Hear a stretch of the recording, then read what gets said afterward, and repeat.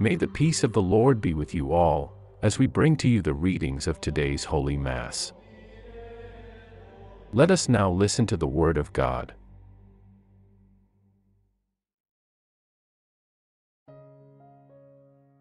October 20th, 2024, 29th Sunday in Ordinary Time.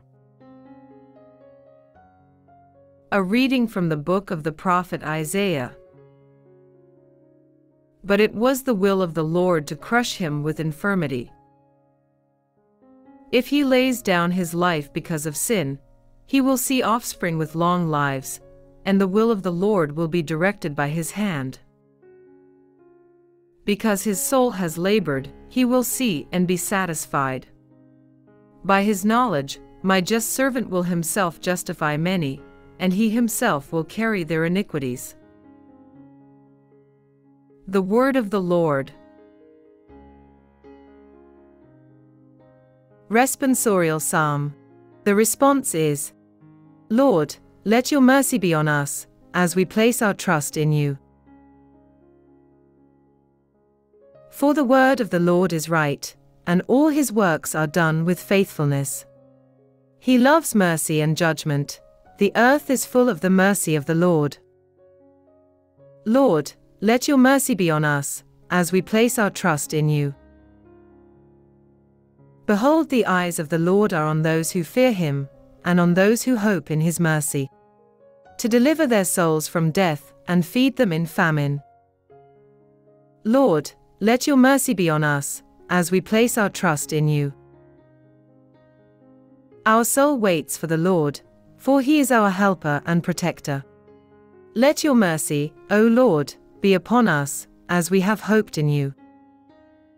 Lord, let your mercy be on us, as we place our trust in you. A reading from the letter to the Hebrews. Brothers and sisters, since we have a great high priest, who has pierced the heavens, Jesus the Son of God, we should hold to our confession. For we do not have a high priest who is unable to have compassion on our infirmities, but rather one who is tempted in all things, just as we are, yet without sin. Therefore, let us go forth with confidence toward the throne of grace, so that we may obtain mercy and find grace in a helpful time. The Word of the Lord. A reading from the Holy Gospel according to Mark. James and John, the sons of Zebedee, drew near to him, saying, Teacher, we wish that whatever we will ask, you would do for us.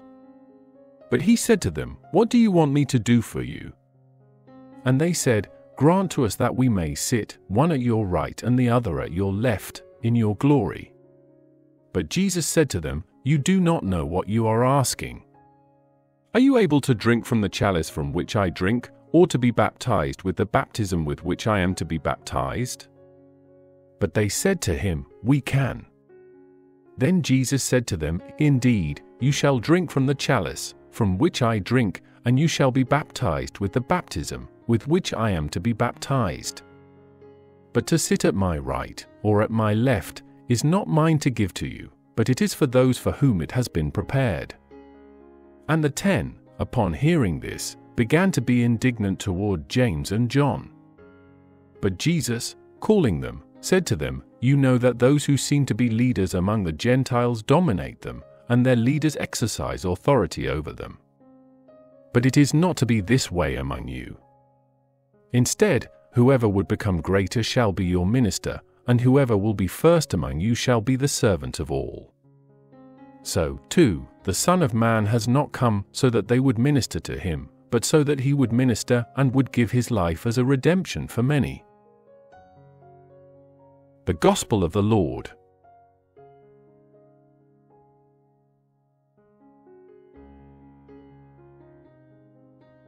Reflection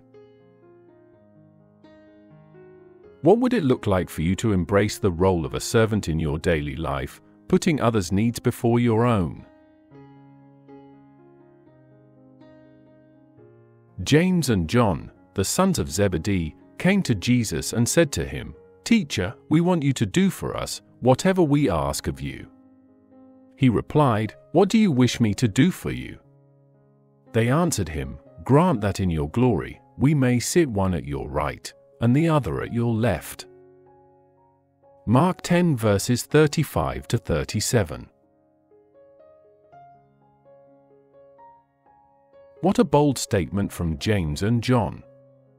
But notice the gentleness in Jesus' response. The other apostles, however, were not as gentle. We read that when they heard about this request from James and John, they became indignant about it.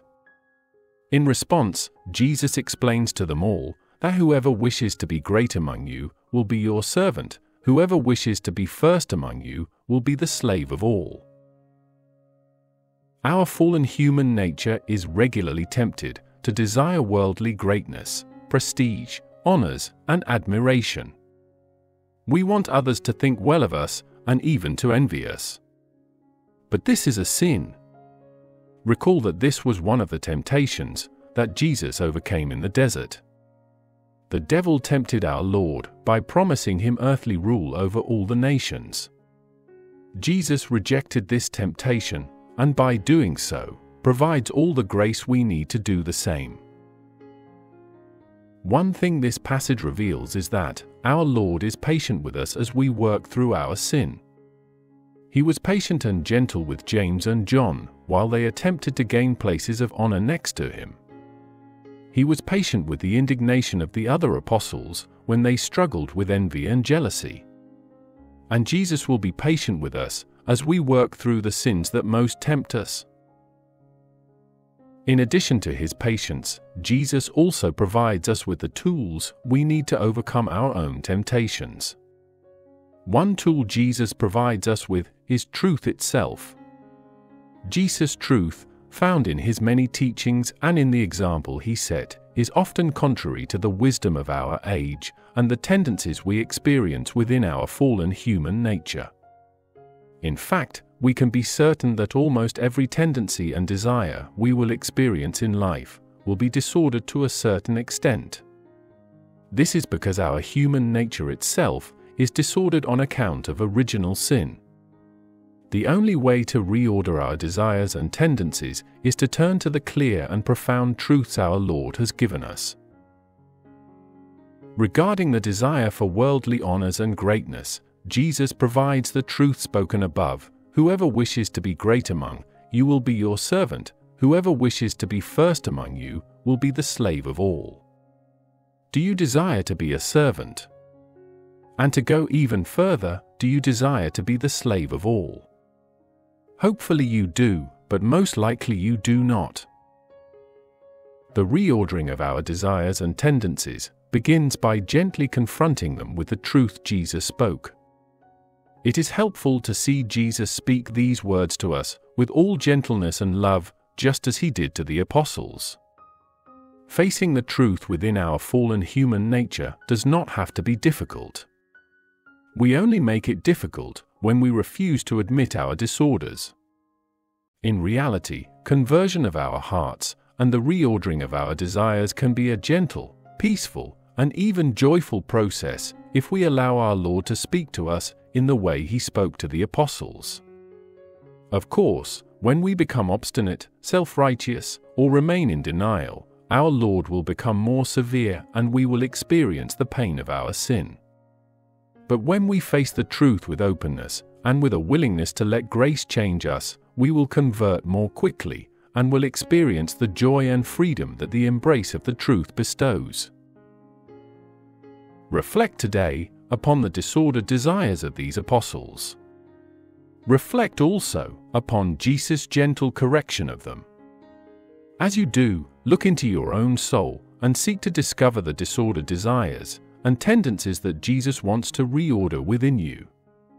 Do not be afraid to face the gentle and freeing truths that our Lord wants to speak to you. Listen to Him, be open, and wisely accept what He says to you so that you will be free and will experience the joys that await.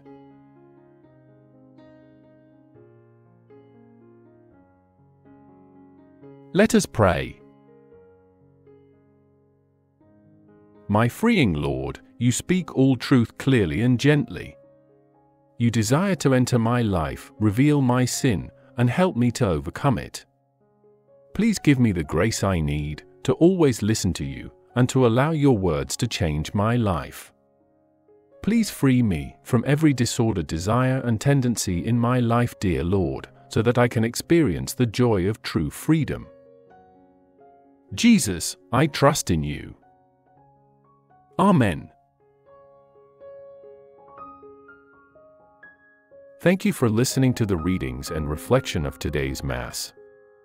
Please like, subscribe, and share with your family and friends. Again, thank you, and may God bless us all.